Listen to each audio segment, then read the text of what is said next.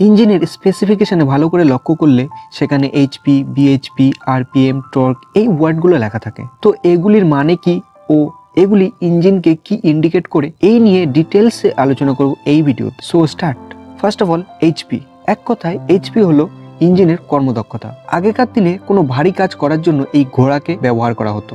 একটি অ্যাভারেজ ঘোড়া এক মিনিটে টু হান্ড্রেড পাউন্ড ওয়েট নিয়ে একশো পঁয়ষট্টি ফিট ডিস্টেন্স অতিক্রম করতে পারে। তাহলে ঘোড়াটি এক মিনিটে সম্পূর্ণ কাজ করে two hundred into one six five is equal to thirty three thousand যখন একটি ঘোড়া এক মিনিটে থার্টি থ্রি থাউজেন্ড ওয়ার্ক সম্পূর্ণ করে, তখন সেই ওয়ার্ক রেটকে বলা হয় ওয়ান এইচপি সো যখন একটি ইঞ্জিন এক মিনিটে থার্টি থ্রি থাউজেন্ড পরিমাণ কাজ সম্পূর্ণ করে, তখন সেই ইঞ্জিনকে ওয়ান এইচপি যুক্ত ইঞ্জিন বলা হবে। এরপর বিএইচপি ব্রেক হর্স পাওয়ার বা ব্রেক পাওয়ার এটি ইঞ্জিনের একদম নিট পাওয়ারকে ইন্ডিকেট করে। এর নামের মতোই এই পাওয়ার বিভিন্ন ধরনের পাওয়ারকে ব্রেক করে প্রডিউস করে। ইঞ্জিনের পাওয়ার স্ট্রোকে যে পরিমাণ পাওয়ার প্রডিউস হয়, সেই সম্পূর্ণ ফোর্স থেকে কিছু পরিমাণ শক্তি ফ্রিকশনের জন্য লস হয়ে যায়। এই হিট ও ফ্রিকশন ফোর্সকে বাদ দিলে যে পরিমাণ শক্তি ক্র্যাঙ্কশাফট থেকে পাওয়া যায় সেটাই হচ্ছে বিএইচপি এই বিএইচপি ক্যালকুলেট করা ফর্মুলাটি হলো two pi N T divided by sixteen watts যেখানে টি হচ্ছে টর্ক ইন নিউটন মিটার আর এন হচ্ছে ইঞ্জিন আরপিএম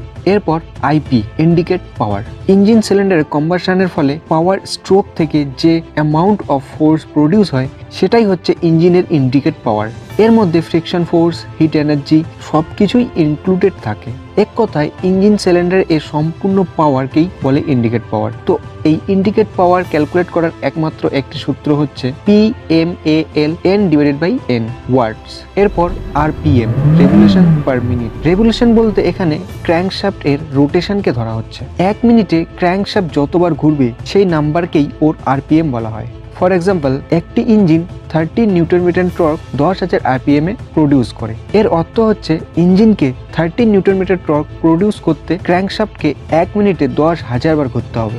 এরপর টর্ক। এই টর্ক হচ্ছে কোনো কিছুর টুইস্টিং ফোর্স কোনো বস্তুকে ঘোরাবার জন্য যে অ্যামাউন্ট অফ ফোর্স অ্যাপ্লাই করতে হয়, সেই অ্যামাউন্ট অফ ফোর্স হচ্ছে ওই বস্তুটির টর্ক।